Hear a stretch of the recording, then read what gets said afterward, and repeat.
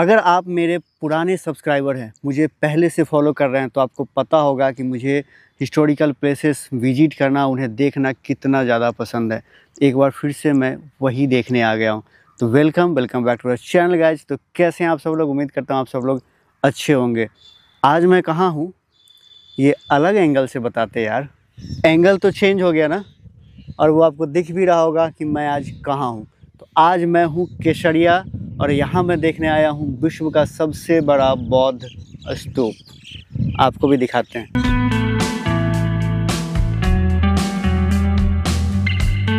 तो पहले बात थोड़ा केसरिया का कर लेते हैं। केसरिया, बिहार स्टेट, और यहाँ एक डिस्ट्रिक्ट है पूर्वी चंपारण, और इसका एक शहर है, एक प्लेस है केसरिया, और केसरिया में है अपना ये स्तूप।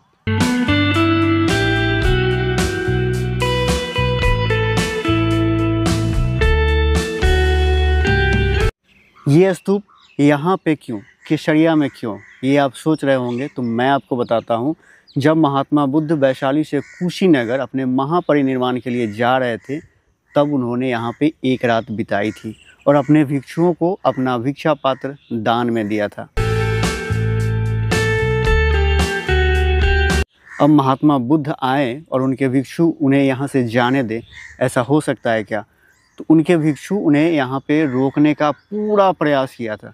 तो महात्मा बुद्ध ने यहाँ पे कृत्रिम बाढ़ उत्पन्न किया था और उसके बाद वो यहाँ से जा पाए थे।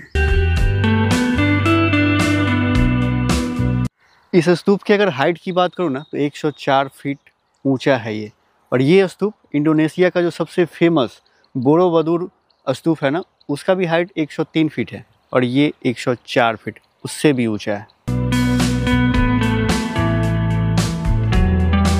भाई, ये स्तूप ना सिक्स फ्लोर का है। और सिक्स फ्लोर में आप देखोगे नीचे और सबसे ऊपर के अगर फ्लोर को अगर छोड़ दो तो बाकी हर एक फ्लोर में ना एक ब्रैकेट जैसा रूम बना हुआ है और उस रूम के अंदर महात्मा बुद्ध का स्टैचू लगा हुआ है। उनके ध्यान के मुद्रा का अलग अलग स्टैचू लगा हुआ है। और इससे जुड़ा एक इंटरेस्टिंग बात मैं आपको बताता हूँ। इस स्तूप का मैंने फ़ोटो जो देखा था, उसमें वो मुझे मूर्ति दिख रहा था। बट मैं जब अभी आया था, वो स्तूप के नीचे से साइड से चल रहा था, वो जहाँ अभी लोग जा रहे हैं ना, मैं वहाँ से जा रहा था और वहाँ से ऊपर देखो तो वो दिखता नहीं है कि हाँ उसके अंदर कुछ मूर्तियाँ भी है। मैं सोच रहा था ये है कहाँ से और कहाँ का फ़ोटो लगा दिया। मुझे ये फील आ रहा था कि कहीं गलत फ़ोटो तो नहीं लगा दिया। बट जब आप थोड़ा दूर आओगे ना, यहाँ, देखो अभी मैं दूरी पे हूँ वहाँ से तो वो दिखता है सारा। अभी वो मूर्तियाँ लगभग टूटे टूटे से हो गए हैं क्योंकि अभी पूरा वो ये तो पुराना है ना, खुदाई में मिला और मूर्तियाँ लगभग टूटी ही हुई है यार सभी। और ये स्तूप ना अभी तक पूरा खुदाई हुआ नहीं है। ये इधर का फ्रंट तरफ़ से है, आगे से ये ऐसा है, पीछे अभी भी बाकी है खुदाई होना। और इसके रिपेयरिंग भी चल रही है यार। जहाँ जहाँ से ये टूटे हैं, अभी वर्तमान में इसे रिपेयर भी किया जा रहा है। और होपफुली ये जल्दी हो जाएगा तो और ज़्यादा खूबसूरत लगेगा देखने में चूँकि है भी ये खूबसूरत, बहुत बड़ा है। तो है भी ऐसा, और पूरा रिपेयर जब हो जाएगा इसका, ये अपने रूप में जब होगा तो और ज़्यादा खूबसूरत लगेगा।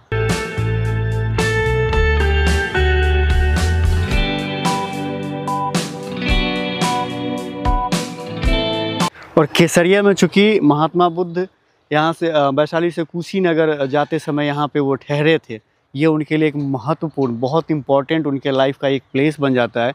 तो यहाँ एज अ स्मरण एज अ मेमोरेबल सम्राट अशोक ने इस स्तूप का निर्माण करवाया था और ये विश्व का सबसे बड़ा स्तूप है। और इस स्तूप का जो ये पूरा एरिया है ना, ये लगभग तेईस एकड़ का है। अभी आप सोचो, ये पूरी तरीके से अभी इसकी खुदाई हुई नहीं है। जब ये पूरे तरीके से खुदाई होगी और और भी इसमें कुछ अगर मिलेंगे, सोचो उस समय ये क्या ही दिखेगा यार, ये क्या नज़ारा होगा यहाँ का।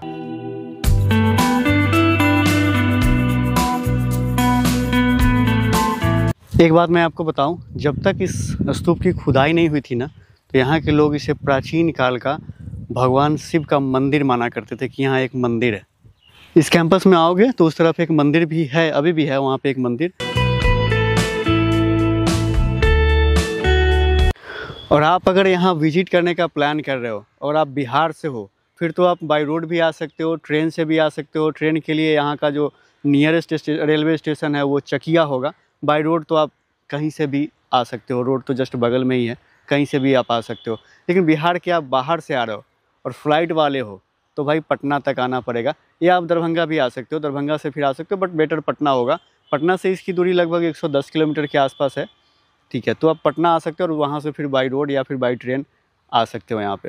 तो ये इस स्तूप का पीछे का हिस्सा है, यहाँ से आप देख पा रहे होंगे कि अभी इसकी खुदाई होनी बाकी है।